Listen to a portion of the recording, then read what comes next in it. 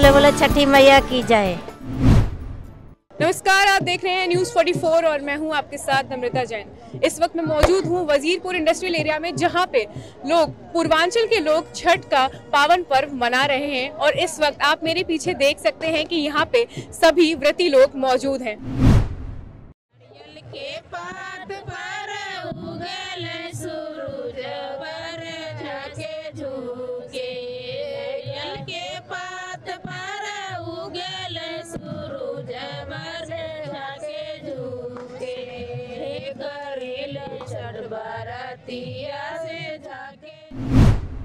छठ पूजा होते हैं जो एक दिन पहले नहा खाते हैं, दूसरे दिन खर्रा करते हैं और तीसरे दिन हाथ उठाते हैं। जैसे मानते हैं, जैसे बच्चे नहीं होते हैं तो मानते हैं कि जो हमें बच्चे हो जाए तो मैं छठ पूजा करेंगे। तो ऐसा ही जब बच्चे हो जाते हैं ना तो उनके लिए छठ पूजा करते हैं। हम, मुझे पता है कि छत्तीस घंटे का ही उपवास होता है तो आखिर कितना मुश्किल है? बहुत मुश्किल है। लेकिन उनको सहायता रहते ना सब पार हो जाते हैं। हिम्मत देते हैं। तो खाली तो हो ही जाता है। जो मन्नत मांगो तो पूरा ही हो जाता है इसलिए छठ मैया की सब लोग पूजा करते हैं।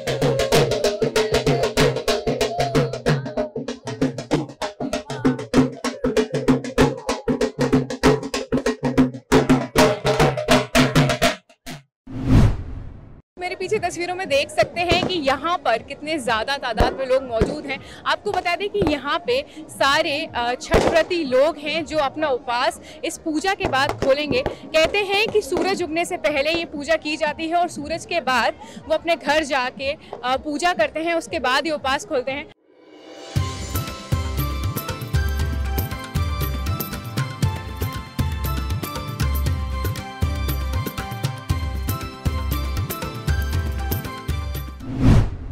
छठ बहुत पुण्य है छठ हम लोग मानते हैं इसलिए कि छठ हमारा माता है हम उसको माता मानते हैं ठीक है?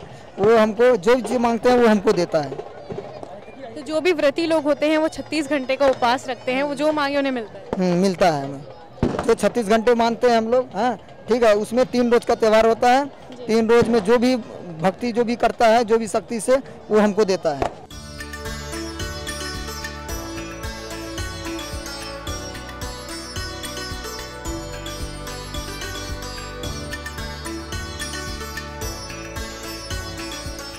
आपको दिखा दें कि यहाँ पर किस तरीके से पूजा की जाती है। आप मेरे पीछे देख सकते हैं कि काफ़ी ज़्यादा आतिशबाजी यहाँ पर की जा रही है। बहुत अच्छी सजावटें की गई हैं।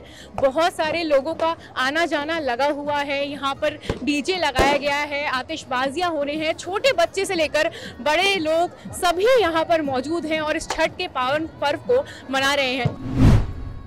हमने शुक्रवार के नहा खाए शनिवार के खरना करे हैं। संडे के सजिया घाट था, आज सोमवार के पारण है। अपने पति के लिए व्रत रखी हूँ और बेटे के लिए, घर परिवार के लिए सुख शांति के लिए व्रत रखते हैं, छठ माई के।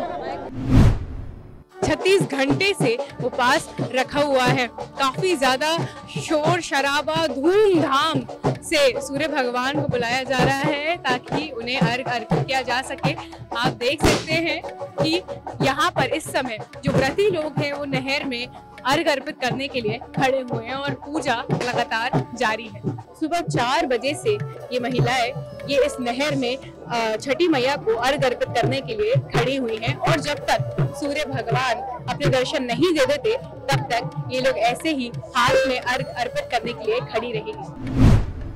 जैसा कि आप इस समय देख सकते हैं कि जितने भी यहाँ पर व्रती लोग थे, वो अपना उपवास इस वक्त खोल रहे हैं। उन्होंने छठी मैया को अर्घ अर्पित कर दिया है। 36 घंटे का ये उपवास था और अब जाके लोग कुछ ग्रहण कर पाएँगे। पहले दिन से तीसरे दिन तक ये उपवास रखा जाता है। काफ़ी मुश्किल था, लेकिन उन मुश्किलों के बाद भी लोगों के चेहरे पर एक शिकन नहीं है। सभी के बीच हर्ष और उल्लास का माहौल है और आसमान में आतिशबाजियों के साथ छठी मैया को उन्होंने अर्घ अर्पित किया है। सही रहा अच्छा करें।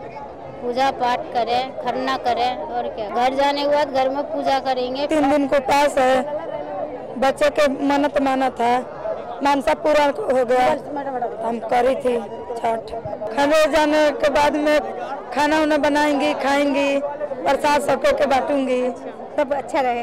ये हमारा कोरोना से मुक्ति दे। पहले दो साल जो किए हैं बहुत बुरी तरह से मतलब अपना घर पे ही करना पड़ा। इस बार बहुत अच्छा कोरोना से बच के यहाँ पे आए हैं करने और बहुत अच्छे से हुए हैं।